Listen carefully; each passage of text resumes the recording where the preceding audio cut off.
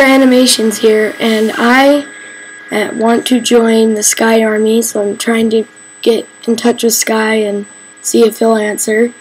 Um, I wanted people to give me tips on what to, or what to get, or how to install mods on a Mac OS X. I can't really figure out how, um, so yeah, I'll need your help. And the other thing is, um, give me ideas on photo editing things that you can get on a Mac. And yeah, that's Butter Animations here. Bye.